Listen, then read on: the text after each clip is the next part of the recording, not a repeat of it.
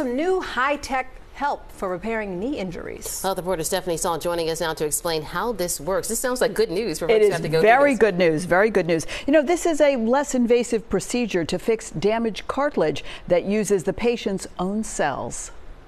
Zachary Casbia was 17 when he tore his ACL playing lacrosse. He had surgery and rehab, but two years later felt sudden pain in the same knee while running. It kind of felt similar to like what happened with the ACL, just not as like painful. Doctors say people with repaired ACLs can go on to develop cartilage problems. Causes pain, causes inflammation.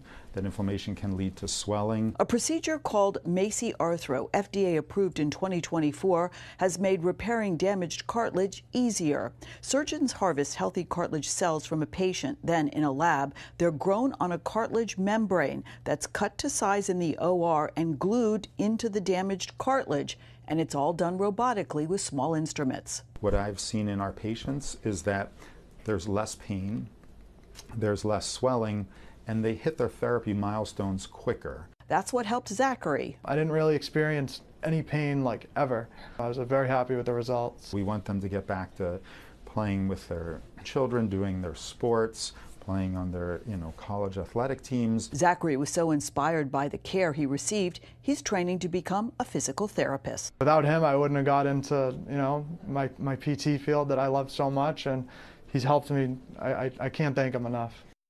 Now, most insurance plans will pay for this procedure. It is designed for people between the ages of about 18 to 55 who don't already have advanced arthritis.